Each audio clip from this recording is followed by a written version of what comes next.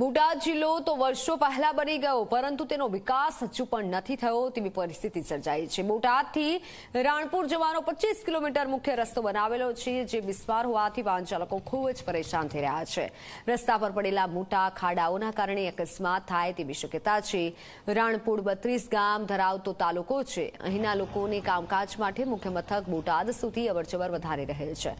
પરંતુ રસ્તો ખરાબ હોવાથી લોકોને આવવા જવામાં વધારે સમય લાગે છે. અકસ્માતનો ભય રહે છે. રસ્તાના સમારકામ માટે અનેક વાર રજૂઆત કરવામાં આવી છે પરંતુ પરિણામ કોઈ જ નથી આવ્યું. કોઈ મોટી દુર્ઘટના સર્જાય તે પહેલા રસ્તો બનાવવામાં આવે તેવું વાહન ચાલકો ઈચ્છી રહ્યા છે. હાવ બેકાર કેટલા કિલોમીટર રહેશે ચોવીસ કિલોમીટર. શું હોવું જોઈએ? આ રોડ હોવો જોઈએ ને યાર. તકલીફ તકલીફ બહુ પડે. અમારે તકલીફ પડે પેસેન્જરને તકલીફ પડે વાહનને તકલીફ પડે. તો પછી રોડનું કંઈક હોવું જોઈએ ને એમ. કેટલા સમયથી ખરાબ છે આ પાંચ છ મહિનાથી. માંગ રોડ બનાવે એ બીજું શું માંગ હોય?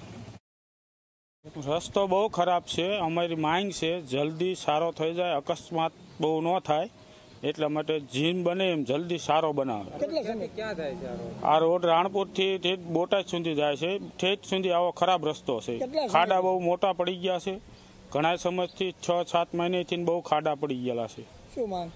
બહુ રસ્તો સારો બનાવી આલો.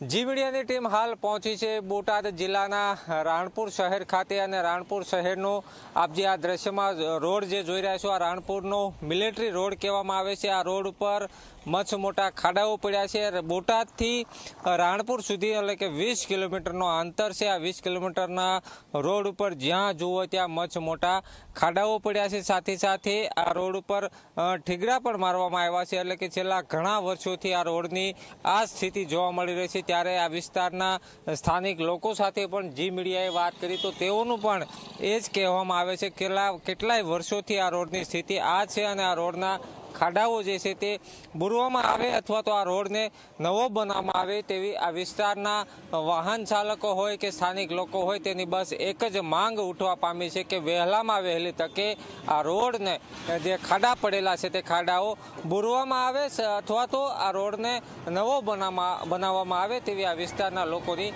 માંગ ઉઠવા પામી છે. કેમેરામેન દેવ મકવાણા સાથે રઘુવીર મકવાણા, જી મીડિયા, રાણ